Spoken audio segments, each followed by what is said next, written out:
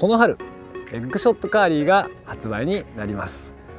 今まであったエッグショットはどちらかというと真下を探るものに対してこのエッグショットカーリーは巻いて誘える引いて誘えるそんなタイプのエッグショットになります。まずここについた重り一辺が平らになっていることによってしっかりとボトムをバランスを崩すことなく引いてこれます。そしてこれによって針が必ず重りの上側に来ることによって根がかりも最小限に抑えることができるんですね。さあそしてこの針魚を誘うためのラバーこれがついてます。横に引いた時にこのカーリーがしっかり水を掴んで魚にアピールしてくれます。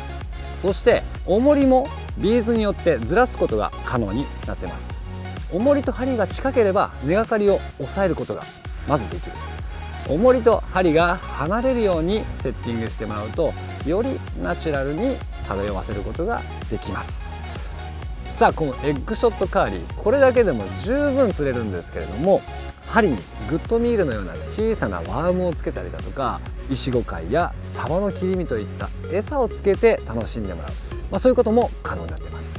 さらに重りにはアイがついているので皆さんご自身でカスタムして使っていただくといいかもしれません。おすすめの竿はエッグアームロンガーやエッグキャストタフィーといったちょっと先まで投げれるような竿と組み合わせて楽しんでください。投げて巻いて底の方の魚を広範囲に誘っていくことができるこのエッグショットカーリーぜひ使ってみてください。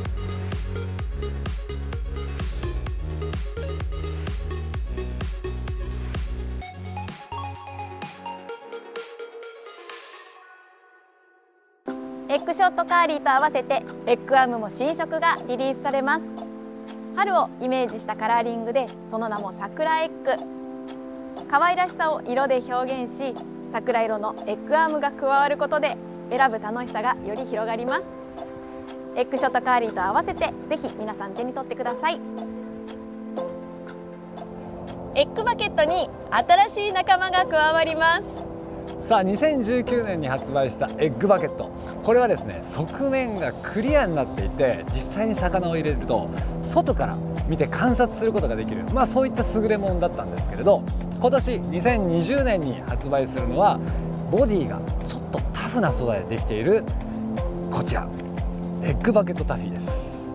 す。さあこれはですねまあ実際に魚を入れることはもちろんなんですけれども実際に釣りで使う道具それからアウトドアに行った時に例えば飲み物を入れたりとか持ち運んだりとか、まあ、そういったアウトドアのさまざまなシーンで使っていただけるようなあバケットになってます。カラーリングも3色展開になっていまして折りたたみが可能なんです。折りたたみできるのでこちら重ねてスタッキングできますし車に置いてもかさばらないっていうのもいいですよね。さあ皆さんの外遊びのシーンで、えー、ぜひ使ってみてください